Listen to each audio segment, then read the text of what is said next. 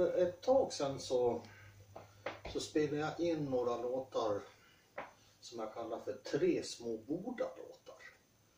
Och eh, den tredje av dem, den gick i A-dur. Och den började så här. Va?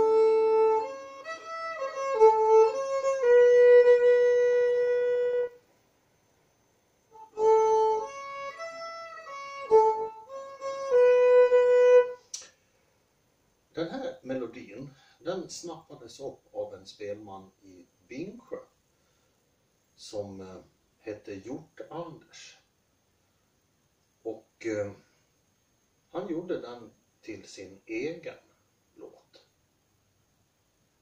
Hjort-Anders var en väldigt skicklig spelman. Kunde spela många toner per sekund och fort och, och drilla och allt möjligt. Va? Eh, Ehm, så han gjorde så här med den här låten. Istället för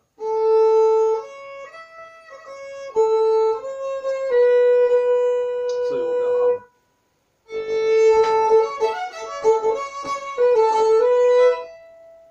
Alltså samma sak fast mycket mer. Och så när han hade lärt sig eller gjort sin version av den här låten då lärde han ut den till andra spelmän i Bingsjö och tog betalt. Han tog 10 kronor för att lära ut sin version av den här Boda-melodin. Eh, ja. Det finns jättemycket att forska om Boda var ju det var ju Rättviks bönder. Bingsjö, det var invandrare från Finland. Svenska staten hade bestämt att okej, okay, vi kan ta emot så här många invandrare om de bosätter sig där ingen annan vill bo. Och därav då Rättviks Finnmark, Orsa Finnmark, Ludvika Finnmark Ja, lite amatörteorier.